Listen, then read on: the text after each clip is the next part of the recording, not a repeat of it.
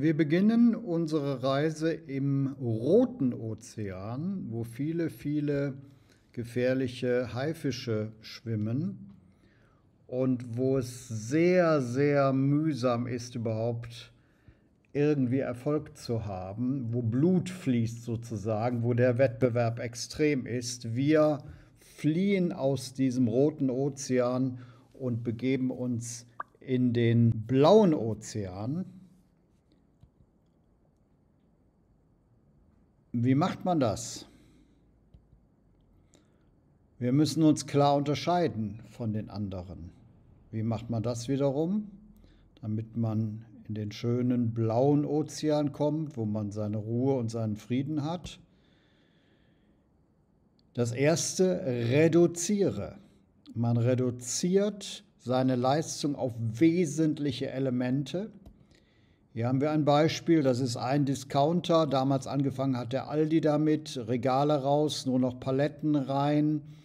Man reduziert also zum Beispiel die Ladenausstattung auf das Wesentliche, was man wirklich braucht, nämlich im Prinzip nur die Palette und stellt dafür einen anderen Aspekt, nämlich günstige Preise in den Vordergrund. Was kann man noch machen? Kreiere.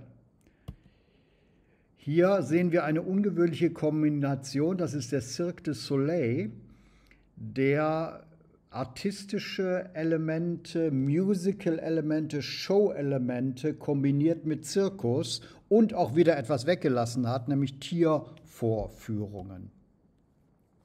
Erhöhe, das heißt betone besonders ein Merkmal, das andere überhaupt nicht betonen.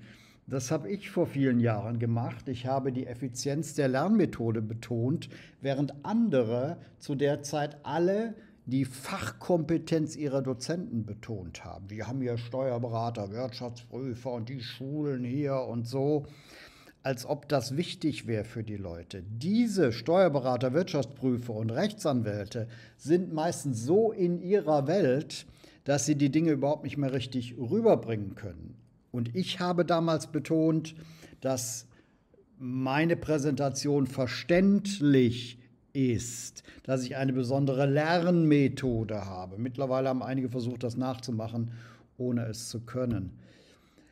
Eliminiere könnte man auch Aldi und andere Discounter hier als Beispiel auflaufen lassen, denn Regale wurden halt eliminiert in der Ausstattung des Ladens.